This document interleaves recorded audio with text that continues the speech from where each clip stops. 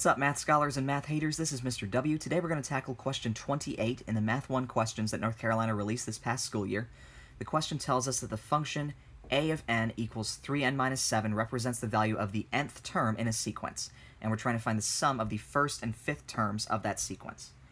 Now, the big skill that this question tests is evaluating functions, but it does kind of disguise it as a sequence, and in the language of sequences here, but that's actually not going to be that different from how we would normally do a problem like this because if this represents the nth term in a sequence, and I'm looking for the first term, that means I'm just going to have 1 be my n.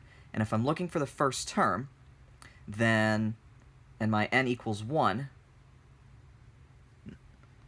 then all I'm going to do is plug in 1 for n, figure out that 3 times 1 is 3, minus 7, and that gets me negative 4.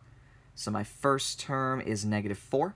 And now to look for my fifth term, I do a very similar thing. I say, okay, my n equals 5.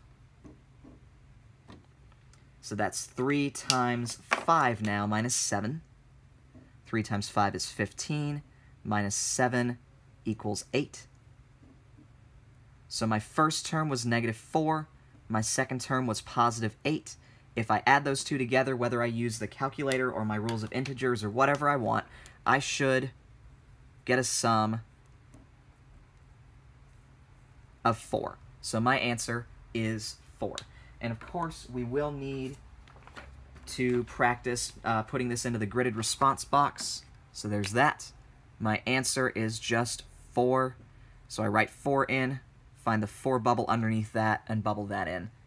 And that's how I do a question like this, including putting my answer in the gridded response boxes.